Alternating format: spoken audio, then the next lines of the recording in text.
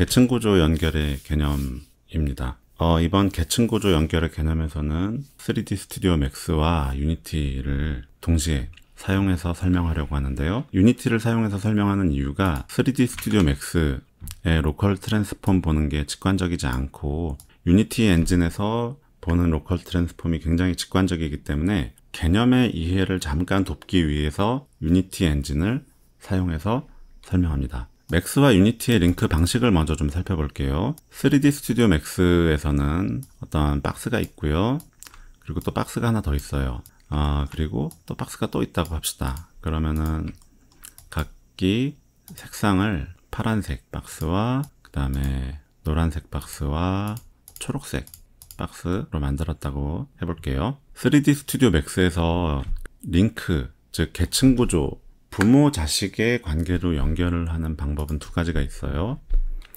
아, 물론 뭐 두 가지 말고 더 있긴 있지만 가장 쉬운 방법이 Select and Link tool을 사용해서요. 그 자식을 클릭하고 클릭 상태를 유지한 채로 부모한테 링크를 딱 걸어주는 거예요. 그러면 이게 이제 부모가 되고 이게 이제 자식이 되는 거죠.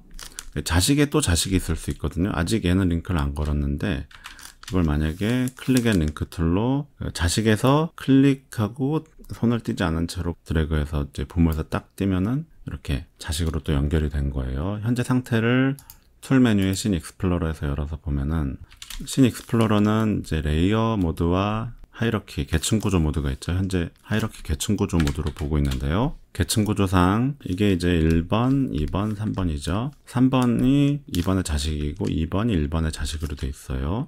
일단 이렇게 되면은 자식은 마음대로 이렇게 어, 혼자서 움직일 수 있고요. 부모를 움직이면 자식은 같이 움직입니다. 최상위 부모를 움직이면 다 같이 움직이게 되겠죠. 어, 이 현상은 내가 회전을 해도 마찬가지가 되는 거예요. 그리고 내가 중간에 자식을 회전하면은 부모는 가만히 있는데 자식만 이렇게 되겠죠. 어, 이 똑같은 작업을 유니티에서 한번 해보겠습니다. 유니티를 이제 모르는 분도 있겠지만 어, Unity에서 박스를 만드는 거는 이 hierarchy 창에서 우클릭해서 3D object에 cube를 만들면 이렇게 박스가 만들어졌죠. 이 박스의 위치는 방금 보고 있던 요 scene view의 가운데 위치 정도로 자동으로 맞춰져서 생성이 된 거예요, 지금. 이거를 그냥 원점으로 옮겨 놓고요. 이거를 이름을 1번으로 바꿔 놓을게요. 어, 유니티에선 컨트롤 D를 누르면 복제가 되죠. 이거는 이제 2번으로 바꿔서 옆으로 옮겨 놓고요. 그 다음에 Control D에서 이건 이제 3번으로 해놓고 3번을 또 이쪽으로 옮겨 보겠습니다. 지금 Max에서처럼 뭐 파란색, 노란색, 초록색 바꾸려고 그러면 재질을 만들고 그래야 되니까 번거로우니까 그냥 회색 상태에서 설명하겠습니다. Unity에서는 Select and Link 그런 도구 없고요. 이렇게 hierarchy에서 2번을 1번의 자식으로 드래그해서 이렇게 집어넣는 식이에요. 마치 폴더에 집어넣는 그런 느낌인 거죠. 그럼 마찬가지로 제일 밑에 자식을 움직이면 혼자 움직이지만 부모를 움직이면 자식이 같이 움직이고요. 최상위 부모를 움직이면 전부 다 같이 움직이고 회전을 시키면 Max와 똑같이 이렇게 되는 걸 볼 수 있어요. 여기까지는 Max랑 굉장히 비슷해 보이죠? 단지 다른 게 있다면은 Unity는 계층 구조에서 드래그로 떨구는 식이 좀 달라요. 근데 계층 구조에서 드래그로 떨구는 거는 Max에서도 가능합니다. Max에서도 어, 이 모든 object가 unlink를 하는 순간 계층 구조가 풀리거든요. 부모 자식 관계가 끊긴 거예요, 방금. Unlink Tool이에요, 저게. Max에서도 아까 여기 tool에서 열었던 scene explorer 메뉴에서 Unity에서처럼 drag and drop으로 자식으로 이렇게 집어넣어 줄 수가 있어요. 그러면은 똑같이 부모 자식으로 연결이 되는 겁니다. 자, 근데 왜 Unity에서 굳이 봤느냐 라고 하면은 이 local transform이라고 하는 거는요. 이게 이제 1번 있고 2번 있고 3번 있죠. 1번의 부모가 world예요.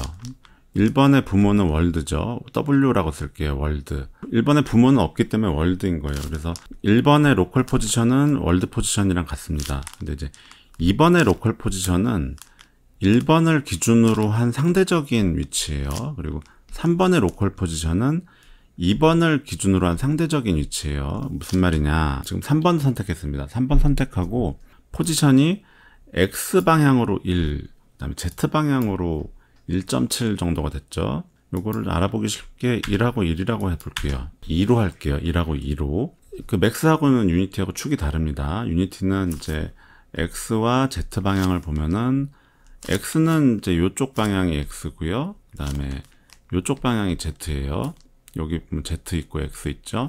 그 얘기는 뭐냐면은 이 3번 지금 요 3번을 선택한 상태에서 여기에 x의 1이고 z가 2라는 거는 뭐냐면은 요 x 방향으로 1만큼 갔고 z 방향으로 2만큼 갔다는 뜻이거든요. 이 자기 부모를 기준으로 그러니까 자기 부모를 기준으로 상대적인 거리가 local transform이라는 거예요. 근데 Unity는 늘 여기 보이는 게 local transform이에요. 무조건 local transform이고 항상 보기 편해요. 근데 이제 Max에서는 local transform 보기가 조금 귀찮죠. 지금 요 Max에서 기본적으로 transform 정보를 볼 수 있는 게 요 밑에 있는 요 포지션 값이에요. 보면은 x 방향으로 62점 얼마, y 방향으로 42점 얼마, z 방향으로 0 이렇게 돼 있는데 Max는 기본적으로 world를 보여줍니다. 이거를 local을 보려면은요 어떻게 해야 되냐면은 얘를 갖다가 parent로 바꿔줘야 부모 기준에서의 얼마야라가 이제, 이제 나오는 거예요. 지금 보면은 이 3번은 부모 기준으로 페런트로 되어 있어야지 요 값이 x 방향으로 요게 현재 여기부터 65란 뜻이에요. 65.02. 그 다음에 어 이건 이제 y 방향.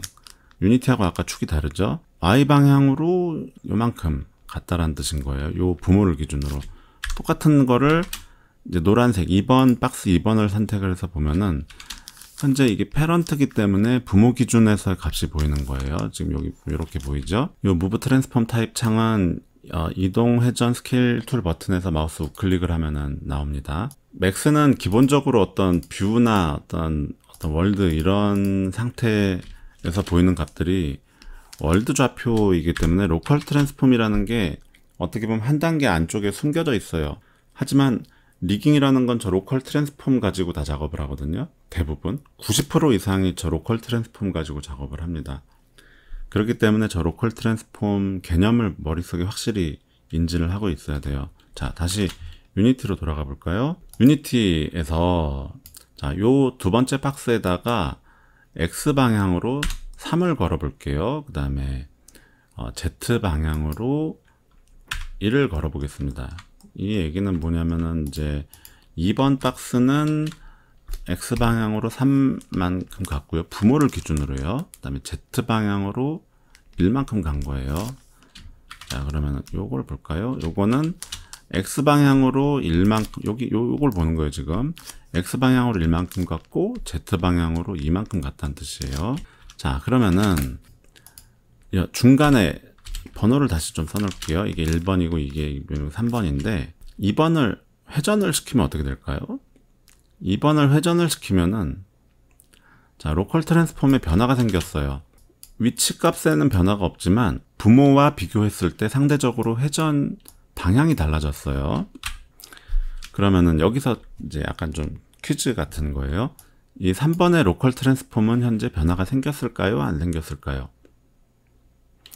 정답은 local transform에 변화가 안 생겼다입니다. world transform에는 변화가 생겼어요. 하지만 아까 여기 3번을 딱 선택해서 보면은 부모 X방향이 달라졌죠. 부모 X방향이 지금 이쪽이고 Z방향은 지금 이쪽이에요. 왜냐면 부모가 회전을 했기 때문에. 그러니까 이거는 world 방향이고요. 이 자식의 local transform은 무조건 부모를 기준으로 하는 거예요. 그렇기 때문에 부모를 기준으로 하는 X방향과 Z방향으로 1과 이만큼 간 거예요. 그렇기 때문에 내가 이 부모를 아무리 돌려도 자식의 local transform에는 지금 변화가 없는 거예요. 이게 지금 굉장히 중요한 개념입니다. 그리고 내가 이 자식을 돌리면은 이렇게 그 부모를 기준으로 상대적인 그 방향이 또 달라진 거죠. 저거는. 근데 내가 만약에 회전을 부모를 기준으로 어, 변화가 없게 하면 부모랑 똑같은 방향이 되는 거고요. 위치도 이거를 000 값을 넣으면 부모랑 같은 위치가 되는 거예요. 즉 여기서 말하는 부모라 함은 부모라 함은 자식 입장에서는 또 하나의 월드인 거예요. 저 멀리 뭔가 있는 거죠. 그러니까 이게 이제 자식 입장에서는 이게 월드죠. 그리고 어 이것 또한 부모가 있잖아요. 이게 또 월드인 거고요. 근데 얘는 부모가 아까 없었죠? 그러면은 실제 월드가 부모인 거예요. 그리고 요 놈은 현재 000으로 돼 있기 때문에 world로부터 local transform이 디폴트 값인 상태입니다. 간단한 낙엽을 한번 rigging을 해볼까요? 그러면은 Unity 엔진에서 낙엽 rigging하는 거는 요거는 애니메이터 컨트롤러를 연결해야 되는 부분이라서 요거는 좀 설명하지 않겠습니다. 낙엽 rigging은 Max에서 rigging하는 걸로 보여줄게요. 이 낙엽 rigging 하는 거는 계층 구조가 rigging에서 얼마나 중요한지를 설명할 때 굉장히 즐겨 설명하는 그런 방법이었어요. 간단히 낙엽을 한번 만들어 볼까요?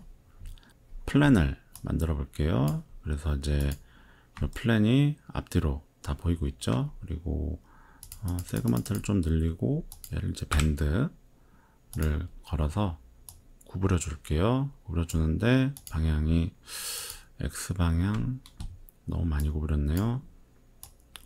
음, 요 정도 구부려 놓고 이 플랜의 크기를 좀 바꾸면 되겠네요. 이쪽 말고 이쪽으로 좀 낙엽답게 이렇게 좀 되고 이게 4에 15, 16 정도 하고요. 그 비슷하진 않지만 그냥 가볍게 낙엽이라고 합시다. 낙엽이 하늘에서 떨어질 때 어떻게 돼요? 지그재그로 이렇게 떨어지죠. 지그재그로 떨어지면서 낙엽 자체가 제자리에서 빙글빙글 돌면서 또 떨어져요. 빙글빙글 돌기도 하면서. 저런 복합적인 어떤 움직임을 만들어내는데, 어, 아, 나는 맨 처음에 위에 있다가, 뭐, 어느 타이밍에, 그 한 이쯤에, 요렇게 되고, 얘는 이렇게 됐다가, 어, 이 object의 motion path를 켜서 보면 이런 식이 되겠죠. 이렇게 갔다가 여기서 또뭐 어, 이쪽으로 가서 이, 여기서 요 모양이 됐다가 이런 식으로 애니메이션을 하는 거는 가장 직관적이긴 하지만 그 rigging 관점에서 굉장히 불편한 그런 rigging인 거예요. 그리고 이 상태에서 이게 이런 방향으로 또 빙글빙글 돌고 싶다면 만약에 갑자기 여기서 픽 돌아버리잖아요. 뭐랄까 애니메이션 키도 많이 뒤섞이고요. 물론 여기 이제 curve editor, curve editor에서 각 트랙별로 분리를 해서 보면 다 좀 조금 더 낫겠지만 이런 경우에는 rigging을 해서 간단한 계층 구조만으로도 좀 각각의 역할을 분리할 수 있어요.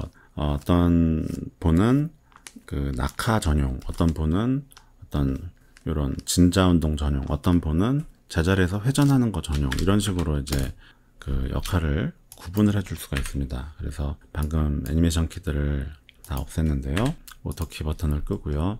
이게 이제 진자 운동을 할 거라면은 요, 요 위치쯤에 뭔가 object가 하나 있어서 제 자식으로 링크가 되면은 어, 흔들어 줄 수가 있겠죠. 그래서 적당히 어디 이쯤 위치에서 point helper를 하나 만들어 볼게요. 그러면 이쯤이 좋을까요? 지금 뭐 그 대충 하는 거기 때문에 아주 정확하게는 하진 않겠습니다. 그러면은 부모 자식 링크로 drag and drag로 이렇게 링크를 걸어줘요. 그러면은 이때부터는 이거를 이렇게 움직이면 이렇게 회전을 함으로써 이렇게 움직이겠죠. 이 위치에서 3D Studio Max는 컨트롤 V를 누르면 클론이 됩니다. 그래서 복제를 카피로 복제를 하는데 복제할 때 이름이 얘는 이제 뭐그 무브예요. 같은 위치에 두 개가 있는 거죠.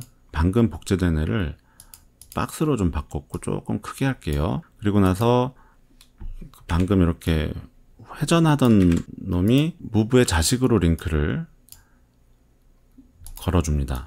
move 밑에 포인트 001이 있는 거죠. 포인트 001은 어 이거는 스윙이라 그럴게요. 요게 이제 낙엽이죠. 어, leaf라 그럴까요?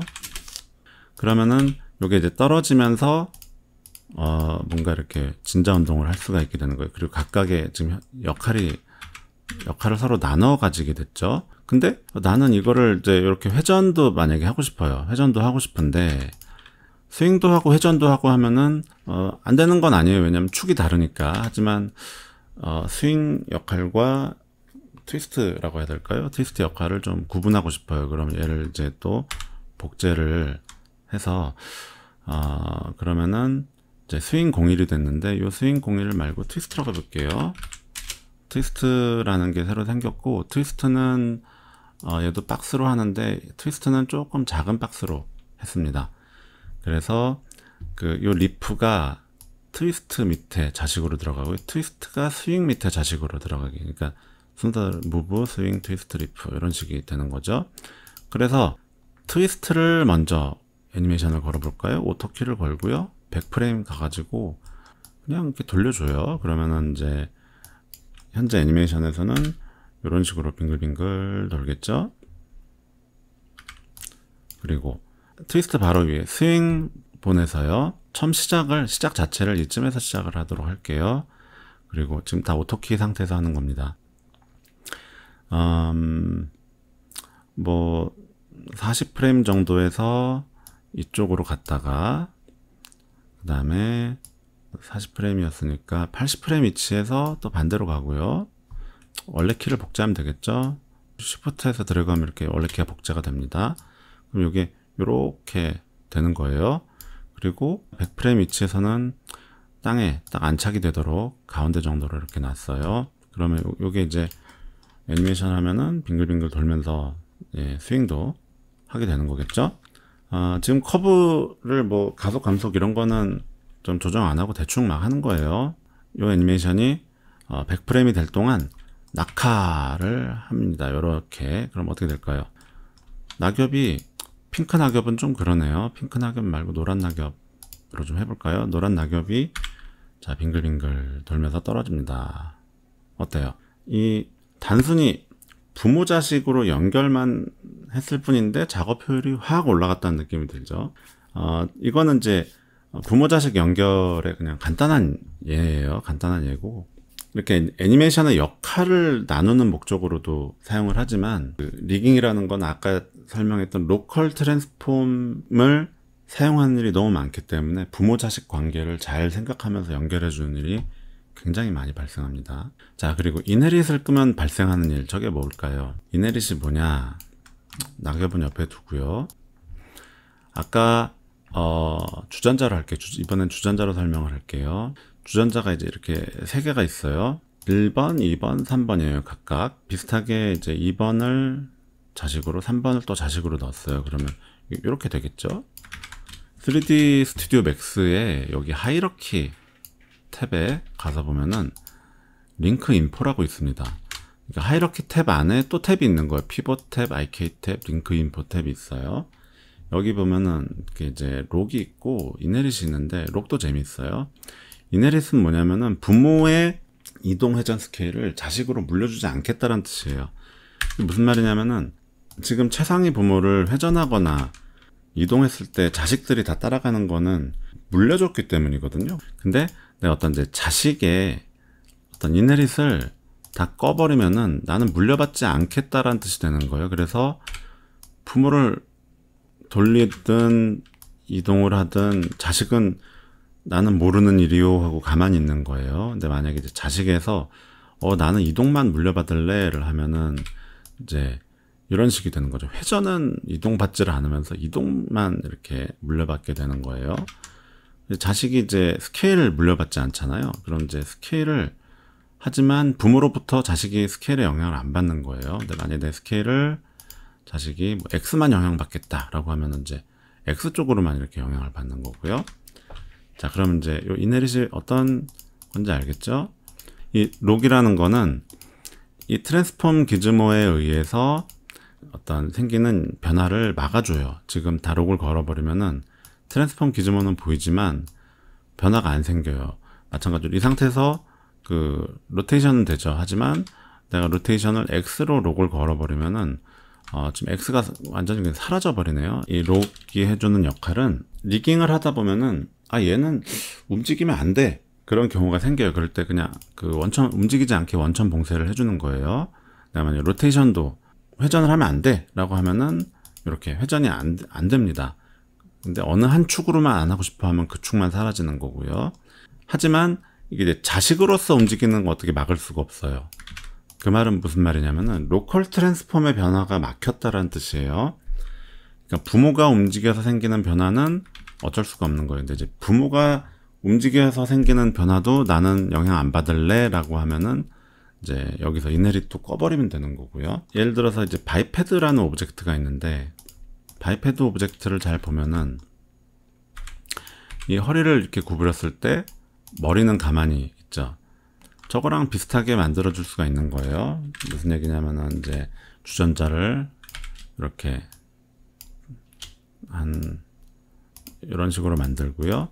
끝에 있는 주전자가 어, 너는 머리야 라고 해서 노란색으로 바꿔 놓은 상태에서 이제 링크를 걸어 볼게요. 그래서 이제 어, 척추가 부몬 거죠. 원래는 이렇게 되는 건데 이 자식의 link info에서 rotation inherit을 꺼버리면은 부모가 이렇게 회전했을 때 머리는 가만히 있는 거죠.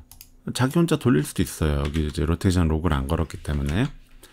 자, 여기까지가 이제 inherit을 끄면 발생하는 일입니다. 그리고 scale inherit은 음, rigging을 할 때 스케일은 굉장히 조심스럽게 다뤄야 될 거예요. 왜냐면은 스케일이 상속이 됐을 때 벌어지는 일을 예측하기가 너무 어려워요. 스케일의 상속을 보기 위해서 둥그렇게 말려있는 본을 한번 만들어 볼게요.